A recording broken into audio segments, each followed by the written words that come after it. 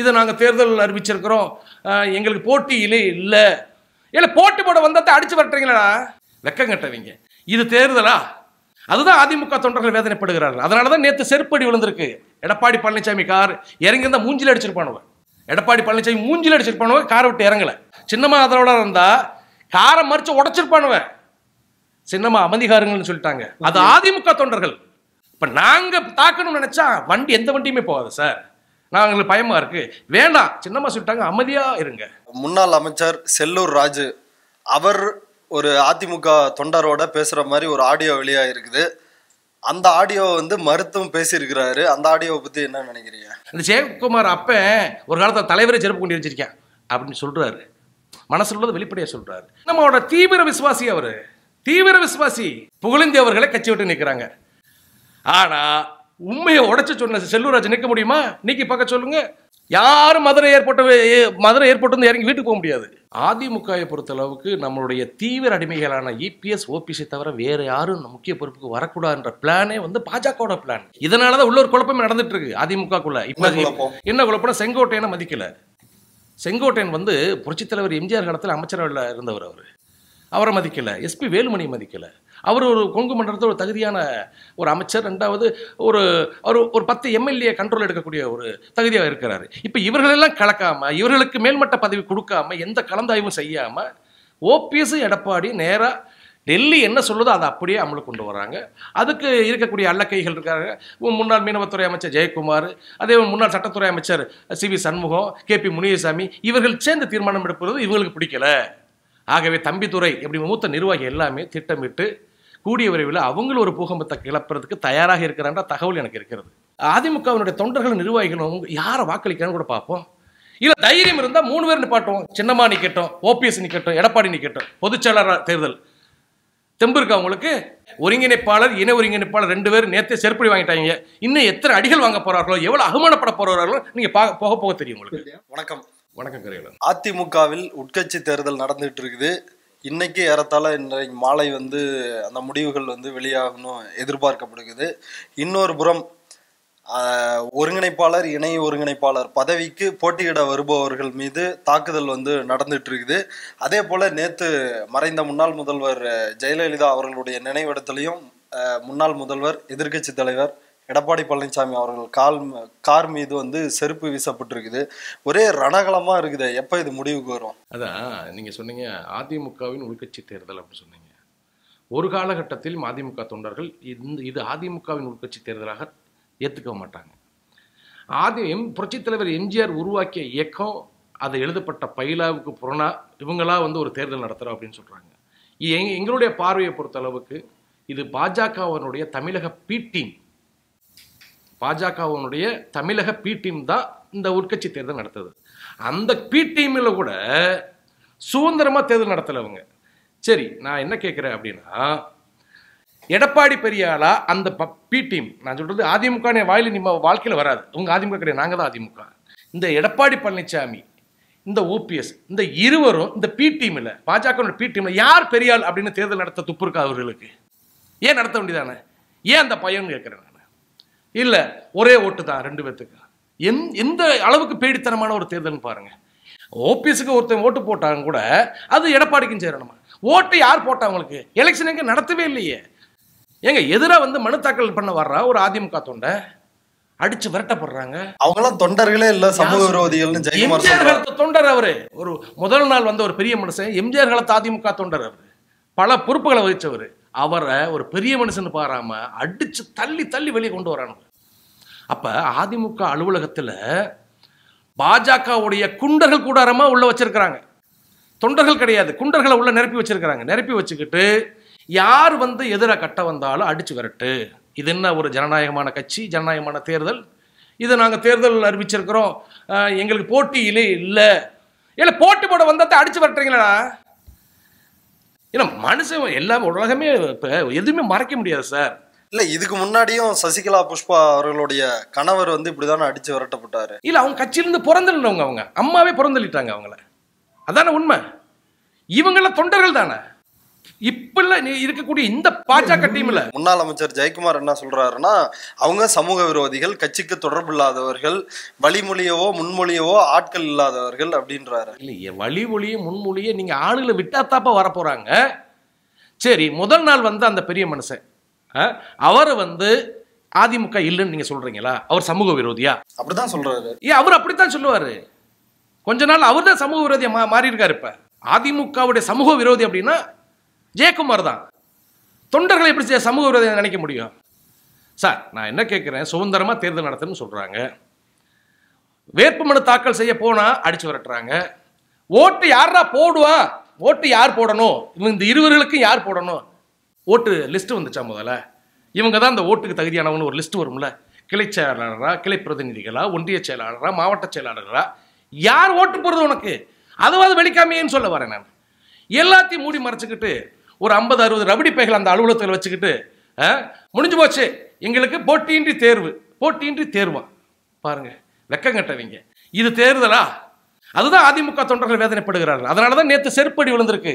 Edappadi Palaniswami car இறங்கி இருந்தா மூஞ்சில அடிச்சிருப்பானுவ எடப்பாடி பழனிசாமி மூஞ்சில அடிச்சிருப்பானுவ காரை விட்டு இறங்கல. இல்ல அதை செஞ்சதும் வந்து அமமுகவினர் தான் தினகரன் ஆதரவாளர்கள் தான். இல்ல இல்ல. தினகரன் ஆதரவாளர் அப்படியா இருந்தா சின்னம்மா ஆதரவாளர் இருந்தா காரை மறிச்சு உடைச்சிருப்பானுவன். சின்னம்மா அமைதிகாரங்கள்னு சொல்லிட்டாங்க. அது அதிமுக தொண்டர்கள். மனவெறுத்து போய். ஏன்னா அஞ்சு பேர் அடிச்சு விரட்டுறாங்க. மறுநாள் போனா அஞ்சு பேர் அடிச்சு விரட்டுறாங்க. அதுல ஒரு ஆள் இருக்கக்கூடாது இல்லையா? அதுல ஒரு ஆள் இருக்கும் இருக்கும் இல்லையா அஞ்சு பேர் வெளியே வந்தாங்களா அடிச்சு விரட்டி. அப்ப அதுல ஒரு ஆள் தான் செருப்பு கொண்டு எரிஞ்சிருக்கிறாரு. இப்ப நாங்க தாக்கணும்னு நினைச்சா வண்டி எந்த வண்டியுமே போகாது சார். நாங்களுக்கு பயமா இருக்கு. வேண்டாம் சின்னம்மா சொல்லிட்டாங்க அமைதியா இருங்க. கூடிய வரை நல்லது நடக்கும்னு சொல்லி அதனால அம்மா தொண்டர்கள் எல்லாம் சின்ன ஆதரவாளர்களோ டிடிவியோட தொண்டர்களோ அமைதியாக தான் இருக்கிறாங்க. அந்த இடத்துல நடந்த சம்பவம் அதிமுக அலுவலகத்தில் யார் அடிச்சு வெளியேற்றினாங்களோ அதே அதிமுக தொண்டர்கள் தான் செருப்பு கழுத்தி எரிஞ்சிருக்கு அதே போல சமீபத்துல முன்னாள் அமைச்சர் செல்லூர் ராஜு அவர் ஒரு அதிமுக தொண்டரோட பேசுற மாதிரி ஒரு ஆடியோ வெளியா இருக்குது. அந்த ஆடியோ வந்து மருத்துவம் பேசியிருக்கிறாரு. அந்த ஆடியோவை பத்தி என்ன நினைக்கிறீங்க? அண்டைன் செல்லூர் ராஜு கூட எனக்கு ரொம்ப இப்போ நெருக்கம். அதுலேயும் உறவி உறவினர் கூட அவர். அவருடைய குரல் தான் என்பது வந்து எங்களுக்கு நல்லா தெரியும். அவர் வந்து ஒரு வெகுளியான மனுஷன் நல்ல மனுஷன் மனசில் பட்டதை பேசக்கூடியவர் தான். அதுலேயும் பாருங்க மனசில் பட்டதை தான் பேசியிருக்கிறாரு. ஜெயக்குமாரை பற்றியும் சி. வி. சண்முகத்தை பற்றி அந்த தொண்டர் கூறும்போது கட்சி இவங்க ரெண்டு பேர்னால தான் அழிவு பாதையில் போகுது. இவங்க ரெண்டு பேர் பேச்சு தாங்க எடுபடுது அப்படின்னு அந்த தொண்டர் குவியத்திலிருந்து பேசும்போது அவங்க கிடைக்கிறாங்கயா அவங்க என்ன இடத்த பண்ண போறேன் அந்த ஜெயக்குமார் அப்ப ஒரு காலத்தில் தலைவரே செருப்பு கொண்டு வச்சிருக்கேன் அப்படின்னு சொல்றாரு. மனசுல உள்ளதை வெளிப்படையா சொல்றாரு. அது உண்மைதானே? அதுல எந்த மாற்று கருத்தே கிடையாதே. அவர் இன்னும் வந்து சசிகலாவோட ஸ்லீப்பர்ஸ் எல்லாம் செயல்படுறாரா? சில்பர் செல் விடுங்க சின்னம்மாவோட தீவிர விசுவாசி அவரு. தீவிர விசுவாசி. சில்பர் செல் ஏன் சொல்றீங்க? தீவிர விசுவாசி. வேண்டாம் கட்சி விட்டு தூக்க சொல்லுங்க பார்ப்போம் இதே எடப்பாடி பழனிசாமி ஓபிஎஸும் யாராரோ தூக்குனாங்கல்ல? கட்சிக்கு ஆதரவா செயல்பட்ட புகழேந்திய தூக்குனாங்கல்ல? அவர் என்ன புகழேந்தி என்ன தவறு பண்ணாரு? பாமக அவருடைய இளைஞரணி தலைவர் அதிமுகவை பற்றி விமர்சனம் பண்றாரு. அதுக்கு கட்சியோட ஒருங்கிணைப்பாளர் பற்றி விமர்சனம் பண்றாரு. அதுக்கு எதிராக ஒரு செய்தி தொடர்பாளர் இவர் குரல் கொடுத்துதான் ஆகணும். அந்த குரல் கொடுத்ததுக்கு புகழந்தி அவர்களை கட்சி விட்டு நிற்கிறாங்க. ஆனா உண்மையை உடைச்சு சொன்ன செல்லூராஜ் நிற்க முடியுமா? நீக்கி பார்க்க சொல்லுங்க. யாரும் மதுரை ஏற்பட்ட மதுரை ஏர்போர்ட் வந்து இறங்கி வீட்டுக்கு போக முடியாது. யாருமே கடக்க முடியாது. அந்த அளவுக்கு ஒரு தகுதியுள்ள ஆள் தான் மக்கள் பலமுள்ள ஆள் தான் உட்கட்சி தேர்தல் நடக்கும் பொழுது ரெண்டு பேருக்கும் கருத்து மோதல் ஏற்பட்டதா செய்திகள் வெளியாயிருக்கு? வந்திருக்கலாம் சார் வந்திருக்கலாம். இந்த அளவுக்கு பேசியிருக்கிறாரு. அப்ப மீனவத்துறை முன்னாள் மீனவத்துறை அமைச்சர் எப்படி பார்த்துட்டு இருப்பாரு? எப்படி எங்க அப்பன்லாம் எடுத்து பேசலாம் அப்படின்னு வந்து வந்திருக்க தான் செய்யும். அதனால அவருக்கு ஒரு பாதிப்பெல்லாம் செல்லூராஜுக்கு பாதிப்பெல்லாம் கிடையாது. உண்மையை சொல்றாரு சார். உண்மையை சொல்றாரு. எம் புரட்சித் தலைவர் எம்ஜிஆர் மேலே செருப்பு வீசின ஒரு அவருடைய மகன் தான் ஜெயக்குமார். அவர் எப்படி அதிமுகவை வளம் வளம்பர வைக்கணும் அப்படின்னு என்ன எண்ணங்கள் அவருக்கு மேலே இருக்கும் அப்படின்னு அவர் உண்மையை சொல்கிறார் ஏற்கனவே அதாவது தேவர் ஜெயந்தியை ஒட்டி அதுக்கு முன்னாடி பேசின ஒருங்கிணைப்பாளர் ஓ பன்னீர்செல்வம் வந்து என்ன சொன்னார்னா சசிகலாவை இணைப்பது குறித்து தலைமை கழக நிர்வாகிகள் சேர்ந்து முடிவு எடுத்து அந்த முடிவை எடுப்பாங்க அப்படின்ற மாதிரி ஒரு கருத்தை சொன்னார். அந்த ஸ்டேட்மெண்ட்டு கட்சியில் தன்னை வந்து முழுவதுமாக கழட்டி விடாமல் ஒரு ஒற்றை தலைமையாக எடப்பாடி மாறிவிடக்கூடாது அப்படின்றதுக்காக அவர் பண்ண ஸ்டண்ட்டு தான். அது வந்து ஒர்க் அவுட் ஆயிடுச்சு இனி வந்து அவர் வந்து சசிகலாவை நோக்கியோ இல்லது நீங்கள் சொல்கிற மாதிரி இணைப்பு அப்படின்ற எதை நோக்கியோ வந்து வரப்போகிறதில்ல அப்படின்னு சொல்கிறாங்க அண்ணன் ஓபிஎஸ் அவர்கள் வந்து தன்னை பாதுகாக்க தன்னுடன் இருந்த அனைத்து நிர்வாகிகளையும் அதே போல் பொறுப்பாளர்களையும் பழி கொடுத்துட்டாரு. இப்போ யாருமே கிடையாது அவர் பின்னாடி. அப்போ அவர் எடுத்த முடிவு சரிதான். ஏன்னா வெளியே வந்தாலும் அவருக்கு அந்த மரியாதை இல்லை. அவரை சார்ந்து அன்றாடு முகநூல்ல பதிவு போடக்கூடிய ஐடி விங்கை சேர்ந்த தொண்டர்கள் கூட அவர் மேல வெறுப்பை வீசிட்டாங்க. என்னைய கட்சி விட்டு நிற்கிறாலும் பரவாயில்ல இனி ஒரு காலகட்டத்தில் எடப்பாடி ஓபிஎஸ் பற்றி நான் எழுத மாட்டேன்னு ஒரு ஓபிஎஸ் ஆதரவாளர் எழுதுறாரு. அப்போ அந்த அளவுக்கு அவர் கேவலப்பட்டு போனார் திரு ஓபிஎஸ் அவர்கள். அந்த பதவிக்காக வேண்டி தனது தனது ஆதரவாளர்கள் ஒட்டுமொத்த ஆதரவாளர்கள் அடமான வச்சுட்டு எவை எக்கேடு கட்டு போனான்னு நமக்கு இந்த ஒருங்கிணைப்பாளர் பதவி இருந்தால் போதும். எடப்பாடி அவர்களுக்கு ஜாடரா அடிச்சுட்டே இருப்போம் லாஸ்ட் வரைக்கும் இருக்கும்போது. அதுதான் சொல்லிட்டு இது அதிமுக கிடையாது சார் பாஜகவோட பி டீம் பாருங்க இவங்க மாவட்ட செயலர் கூடுறாங்க. எங்க? சென்னை ராயப்பட்ட அலுவலகத்தில். அங்கே ஒருத்தர் என்ன செய்ய சோழவந்த எம்எல்ஏ பாஜகவுக்கு போகிறான் அவனை இன்ன வரைக்கும் நீக்கல. ஏன் கட்சி விட்டு நீக்க வேண்டியதானே? யார் எது எதனால போனேன்னா அண்ணன் ஓபிஎஸ் எப்பா நீ போப்பா அங்கே போ. நீ ஒரு நாலு வருஷத்துக்கு ஒரு நாலு பேராவது அனுப்பணும் நான். எங்கே? ப- இல்லாட்டி என்னுடைய ஒப்பந்தம் என்ன ஒப்பந்தம் அப்படி எழுதியிருக்கேன் நான் ஐயா மோடியோடும் அமித்ஷாவோடும். இந்த கட்சியை சின்ன பண்ணமாக்கி பாஜகவை வளர்த்துட்டு தமிழக பாஜக தலைவராக ஆகக்கூடிய அந்த திட்டம் நிறைவேற போகுது அப்படின்னு தான் ஓவராலாக கலந்து போயிட்டு இருக்கு பாஜக. அவருடைய ஆதரவு தானே? மாணிக்க யாருங்க ஓபிஎஸோட சுத்தமான ஆதரவாளர். அதுலேயும் வழிகாட்டு குழு இருக்குல்ல? இந்த வழிகாட்டு குழு எங்க தான் வழிகாட்டுறேன்னு தெரியாது. எங்கிட்ட தான் வழிகாட்டுறேன்னு தெரியாது. இந்த வழிகாட்டு குழுல அவர் ஒரு ஆள். சொல்லாம பிரியாம பாஜக போய் இணைகிறாரு அப்ப யார் அனுப்பிச்சு விட்டா? இப்ப அடுத்த கட்டமா வந்து உட்கட்சி தேர்தல் முடிஞ்ச பின்னாடி அதிமுகவில் என்ன நடக்கும் அப்படின்னு நீங்க எதிர்பார்க்குறீங்க? சின்னம்மாவுக்கு நேற்று வந்த கூட்டத்தை நீங்க பார்த்துருப்பீங்க. நீங்க சொல்லுவீங்க அமமுகவுடைய தொண்டர்கள்னு சொல்லுவீங்க. கிடையாது அதிமுக தொண்டர்கள் லட்சக்கணக்கில் தொண்டர்கள் வந்து ஊர்ந்து வந்து நான் தங்கியிருக்க ஏரியாவில் நிறைய பேர் ரூம் போட்டு அப்புறம் அதிமுக தொண்டர்கள் வந்து குவிந்தவன இருந்தாங்க. சின்னம்மா நீ மக்களை சந்திக்க போறாங்க. இனி வந்து பொறுமையெல்லாம் கிடையவே கிடையாது. எங்க பின்னாடி மக்கள் இருக்கிறாங்க தொண்டர்கள் இருக்கிறாங்க. அதிமுகவில் இணைஞ்சு அவங்க அதிமுக நாங்க தான் சார் நான் தான் மறுபடியும் மறுபடியும் உங்களுக்கு சொல்ல வரேன். இல்ல அவங்க அமமுக வேணா அமமுகவோட போட்டியிடலாம் அப்படின்றது தானே வந்து இருக்கிற நிலைமை. அமமுகவோட இணைந்து. இல்ல இல்ல அமமுகவுக்கும் சின்னம்மா அவர்களுக்கும் எந்த சம்பந்தமும் கிடையாது. அதுவும் ஒரு இயக்கம். அதிலிருந்து அதிமுகவிலிருந்து அதிருப்தியாளர்கள்லாம் சேர்ந்து ஒரு இயக்கம் ஆரம்பிச்சது அமமுக. அவருடைய கொள்கையும் என்ன அதிமுகவை மீட்டெடுப்பு தான் என்னுடைய கொள்கைன்னு சொல்லியிருக்கிறார். நான் இப்படியே இந்த கட்சியை வளர்த்துட்டு போகணும்னு சொல்லல தினகரன் அவர்களும். ஆகவே சின்னம்மா அவங்க இப்பவும் அதிமுக தொண்டர்கள் மத்தியில் பொதுச்செயலாளர் தான் இருக்கிறாங்க. அதுக்காக அமமுகவுக்கு அவங்க கட்டளை இடுவதோ இல்லை தேர்தல் வேலை பார்ப்பதோ அதெல்லாம் கிடையவே கிடையாது. கூடிய விரைவில் வந்து அதிமுகவினுடைய பொதுச்செயலாளர் தான் வரப்போகிறாங்க இந்த அடிமைகள் இந்த பாஜகவினுடைய அடிமைகள் மறுபடியும் இவர்கள் காலில் விழுவது ஒன்றும் புதிதல்ல. இல்ல எப்படி நடக்க போகுது யாராவது. நிர்வாகிகள் யாராவது ஆதரவு தெரிவிக்கிறாங்களா? எது எதுவுமே நிர்வாகிகள் நிர்வாகிகள் ஆதரவு தெரிவிச்சு தான் இவங்க ரெண்டு பேரும் ஒருங்கிணைப்பாளர் துணை ஒருங்கிணைப்பாளர் இருக்கிறாங்க. தொண்டர்கள் இவர்களுக்கு இந்த தேர்தலில் பாடம் புகட்டுவார்கள். இந்த நகராட்சி தேர்தல் இருக்கு மாநகராட்சி தேர்தல் இருக்கு. இதில் தொண்டர்கள் இந்த அதிமுக பாஜகனுடைய பி டீம் அதிமுக சொல்றதுக்கு வாய்ப்பே கிடையாது. பாடம் புகட்டுவார்கள். அது பிறகும் எல்லாம் சரியாயிடும். இவர்களை மன்னித்து ஏற்றுக்கொள்ளக்கூடிய பக்குவம் புரட்சித்தாய் சின்னம் அவர்களுக்கு இருக்கிறது. ஆகவே நல்லதே நடக்கும். அதிமுக அப்படின்ற அந்த கட்சிக்குள்ள செல்வாக்கு மிக்கவரா இபிஎஸ் தான் இருக்கிறாரு அப்படின்றது தான் இப்போது வரைக்கும் இருக்கிற நிலைமையா இருக்குது. இதுல ஏதாவது மாற்றம் வருவதற்கு எந்த சூழலுமே இல்ல. அப்படின்றதான சூழலா பாஜக அப்படி வச்சிருக்கு. ஏன்னா அதிமுகவை பொறுத்தளவுக்கு நம்மளுடைய தீவிர அடிமைகளான இபிஎஸ் ஓபிஎஸ்ஐ தவிர வேற யாரும் முக்கிய பொறுப்புக்கு வரக்கூடாதுன்ற பிளானே வந்து பாஜகவோட பிளான் அப்படி இருந்தால் தானே அவங்க கட்சியை வளர்க்க முடியும். ஆகவே இதனால தான் உள்ள ஒரு குழப்பம் நடந்துட்டு இருக்கு அதிமுகக்குள்ள. இப்போ குழப்பம்? என்ன குழப்பம்னா செங்கோட்டையனை மதிக்கல. செங்கோட்டையன் வந்து புரட்சித் தலைவர் எம்ஜிஆர் காலத்தில் அமைச்சரவையில் இருந்தவர் அவர். அவரை மதிக்கல. எஸ்பி வேலுமணி மதிக்கல. அவர் ஒரு கொங்கு மண்டலத்தில் ஒரு தகுதியான ஒரு அமைச்சர் ரெண்டாவது ஒரு ஒரு ஒரு பத்து எம்எல்ஏ கண்ட்ரோல் எடுக்கக்கூடிய ஒரு தகுதியாக இருக்கிறாரு. இப்போ இவர்களெல்லாம் கலக்காம இவர்களுக்கு மேல்மட்ட பதவி கொடுக்காம எந்த கலந்தாய்வும் செய்யாம ஓபிஎஸ் எடப்பாடி நேரா டெல்லி என்ன சொல்லுதோ அதை அப்படியே அமலுக்கு கொண்டு வராங்க அதுக்கு இருக்கக்கூடிய அல்லக்கைகள் இருக்காங்க. முன்னாள் மீனவத்துறை அமைச்சர் ஜெயக்குமார் அதே முன்னாள் சட்டத்துறை அமைச்சர் C V Shanmugam K P Muniyasamy இவர்கள் சேர்ந்து தீர்மானம் எடுப்பது இவங்களுக்கு பிடிக்கல.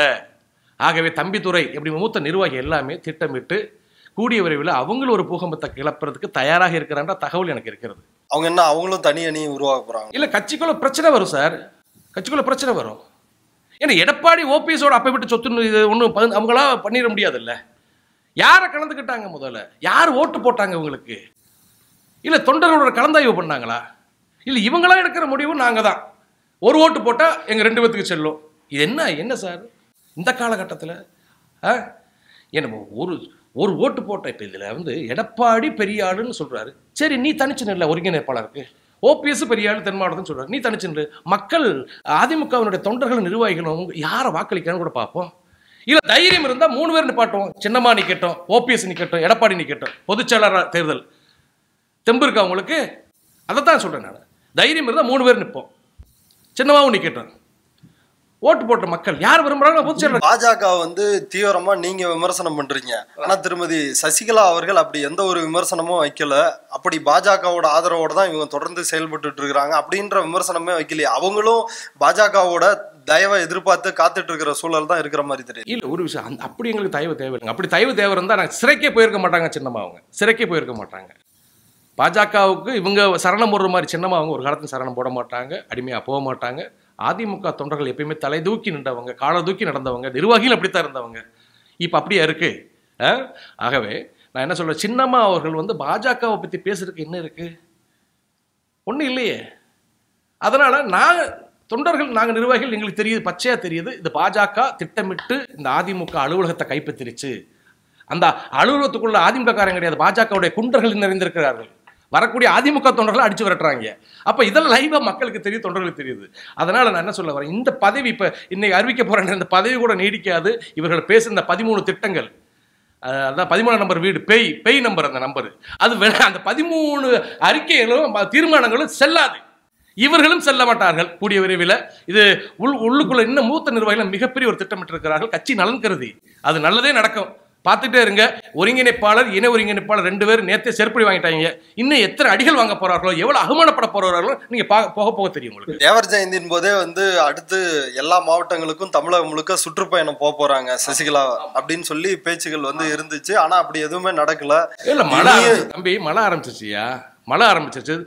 சென்னையே மிதந்துக்கிட்டு இருக்கும்போது சின்னமாக மு- தொடர்ந்து மூணு முறை வந்து நிவாரணத்தில் மேற்கொண்டாங்க. அடுத்து மழை இப்போ எச்சரிச்சு. இனி ஆரம்பிச்சிருவாங்க. சென் மாவட்டமில் தமிழகம் முழுக்க சுற்றுப்பயணம் மேற்கொள்ள போகிறாங்க தொண்டர்களை சந்திக்க போகிறாங்க நிர்வாகிகளை சந்திக்க போகிறாங்க நன்றி நன்றி நன்றி கரிகாலன்.